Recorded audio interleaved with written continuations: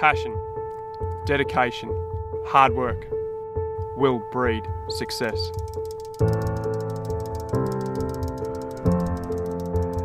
There is no doubt that everyone will know the name Bianchi Lotto Arbitrage.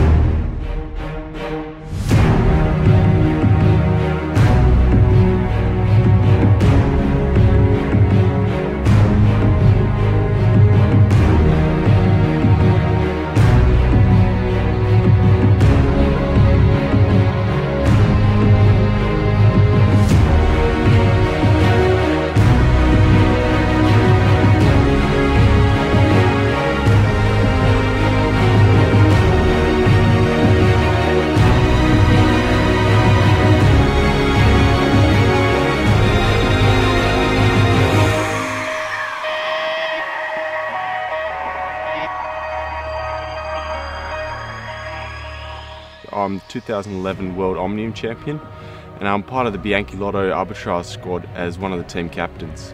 I'm on the team because I want to take these boys to the next level, onto the international stage and really, really show the world what we've got.